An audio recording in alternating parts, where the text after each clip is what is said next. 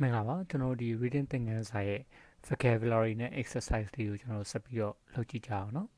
ဟုတ်ဒီ vocabulary လေးအရင်ကြည့်ကြည့်အောင်အဲ့မှာပါတဲ့ခက်ခဲမဲ့စလုံးလေးတွေကအများကြီးရှိနေပါတယ်ဒီထက်ကကျွန်တော်တို့နည်းနည်းနည်းနည်းချင်းစီလေ့လာပါတာပေါ့နော်ပထမဆုံးလေ့လာတဲ့စကားလုံးက accidentally accidentally accidentally ဆိုတာ adverb တစ်ခုပါမတော်တဆလို့ထည့်ပေးရ accidentally okay နောက်ထပ်တစ်ခုကြည့်ကြည့်အောင်ဒါ step step ဆိုတာကဓာတ်တို့စူးတို့စသဖြင့်ထိုးတာမျိုးကို step လို့ခေါ်ပါတယ် step okay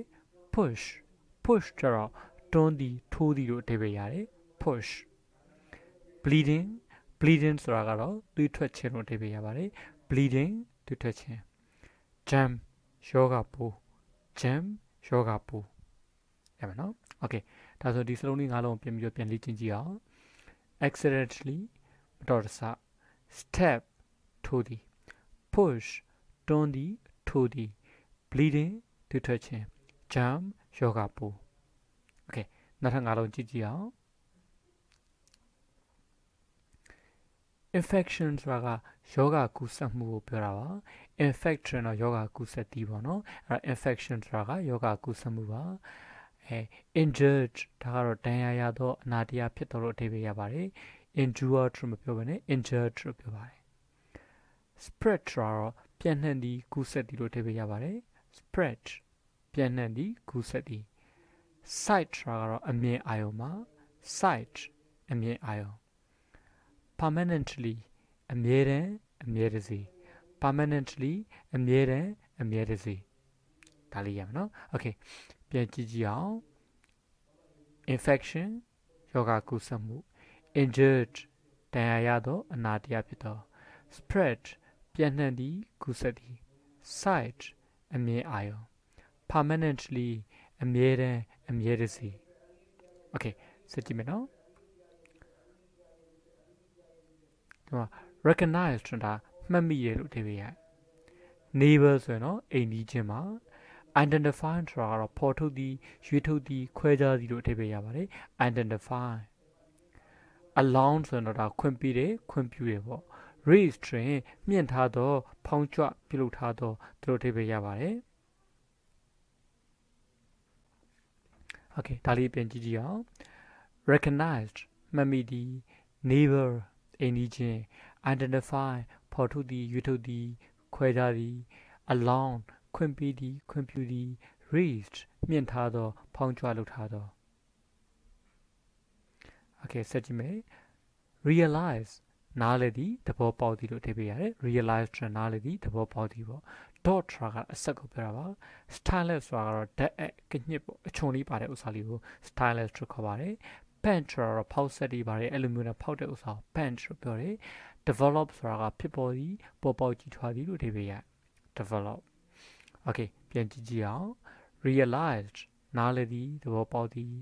dot accept stylist ဓာတ်အကညစ် bench ဖောက်ဆက်ဖြင့်ဖောက်သည် develop ဖြစ်ပေါ်သည်ပေါ်ပေါက်ကြီးထွားသည်သူတို့တွေပဲရပါတယ်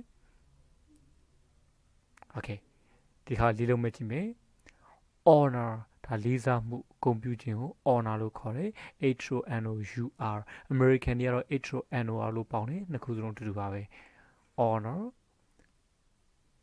authority authority ဆိုတာဒါအာဏာပိုင်အာဏာပိုင်အဖွဲ့ကို authority လို့ပြောတယ် destroy ဆိုတာကတော့ဖျက်ဆီးသည်ပေါ့ popular ဆိုတာကလူကြိုက်များသောတို့ဒီပရိရပါတယ် okay ပြန်ကြည့်ကြည့်အောင်ဒါဆိုရင် honor လေးစားမှုဂုဏ်ပြုခြင်း authority အာဏာပိုင်အာဏာပိုင်အဖွဲ့ destroy ဖျက်ဆီးသည် popular လူကြိုက်များသော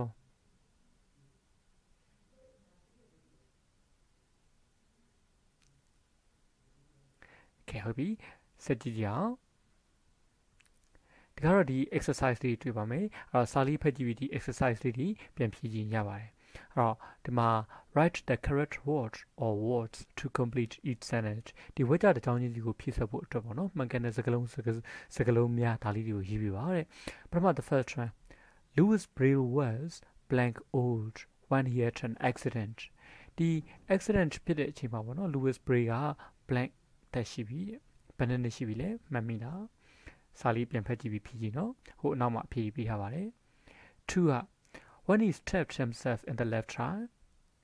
သူဘယ်ဘက်မျိုးလုံးကိုပေါ့နော်သူသူထိုးမိတဲ့အချိန်မှာ it blank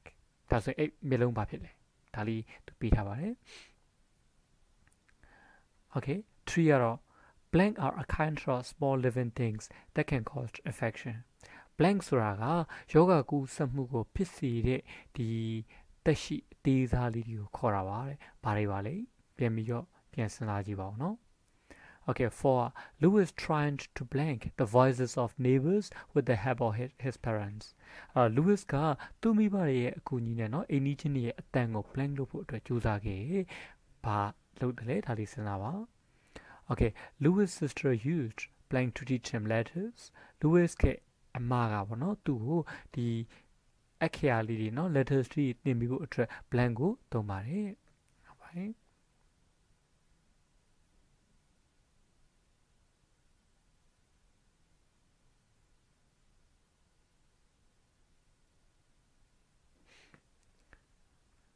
ကဲဒီမှာနံပါတ်6ဆက်ကြည့်အောင်နော်အဲ့တော့ he was a very blank learner when he attended the village school သူ ရွာကျောင်းတက်တဲ့အချိန်မှာပေါ့နော်သူက blank learner တယောက်ဖြစ်ပါတယ်ဒါဆိုရင်ဘလို့ learner တယောက်လဲနီးရလူလားမြန်တဲ့လူလားတွတ်တဲ့လူလားစသဖြင့်ပေါ့ဒါလေးတစ်ခုဖြစ်ပါလိမ့်မယ်နံပါတ်7ကတော့ he used blank to experiment several codes သူက coach တွေအများကြီးကိုလက်တွေ့စမ်းသပ်ဖို့အတွက် blank ကိုသူသုံးခဲ့ပါတယ်ဘာကိုသုံးခဲ့တာလဲဒါလေးကျွန်တော်တို့ထည့်ကြည့်အောင်နော်စကြည့်အောင် or H မှာတော့ a blank is usually used to punch holes in paper blank ကိုဒီ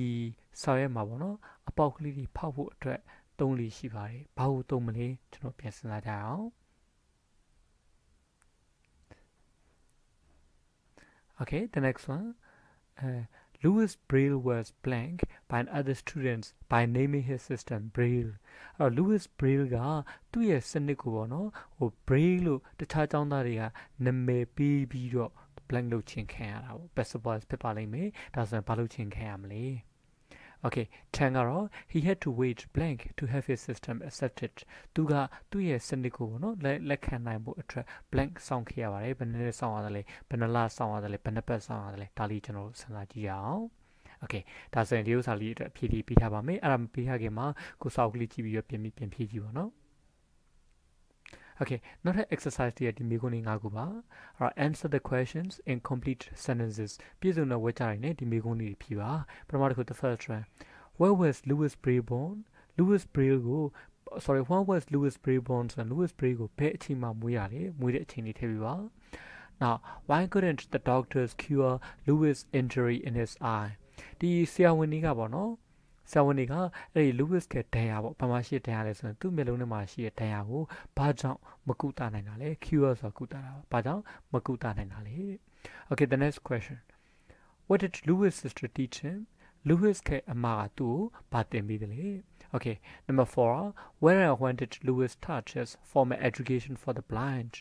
Lewis ကနော်ဒီမင်းမမြင်နေအတွက်သူ့ရဲ့ဟို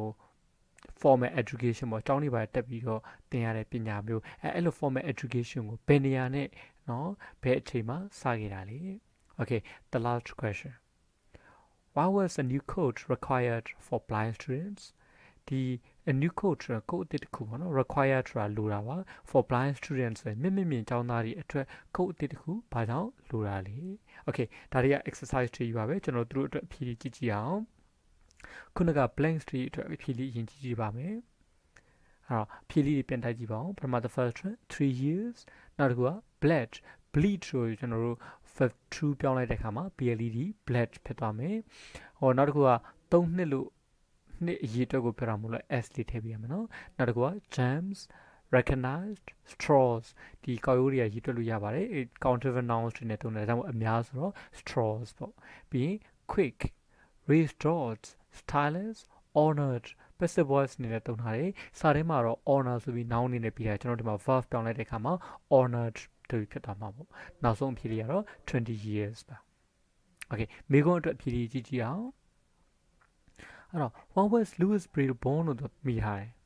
ဒါဆိုရင်မေးသူကမွေးတဲ့အချိန်ကိုအတိအကျမပြောထားဘူးဒါနဲ့1812ခုနှစ်မှာသူဒဏ်ရာအနာရရဖြစ်တယ်လို့ပြောတယ်ဒါဆိုရင်အဲ့ဒီဖြစ်တဲ့အချိန်မှာသူ3နှစ်သားဆိုတော့ဒါကိုသိချင်ရင်1812ထဲက3ကိုနှုတ်လိုက်ပေါ့နော်ဒါဆို1809ဖြစ်သွားမှာပေါ့အဲ့အဖေကမေကုန်းကောက်လိုက်မယ်ဆိုရင် Louis Braille was born in 1809ဒါဖြစ်သွားမှာ Why couldn't the doctors cure Louis injury in his eye ဒီ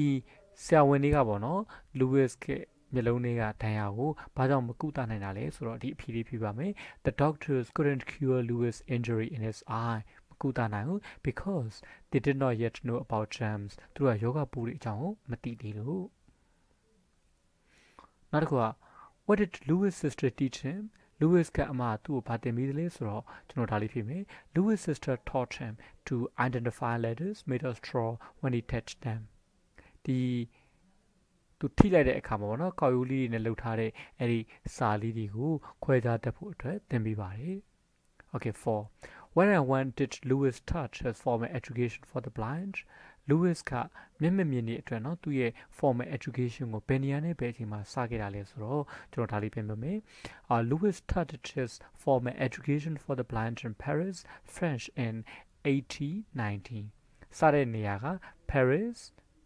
France စတဲ့အချိန်ဟာ8090ဒါလေးပါနော် Okay the last question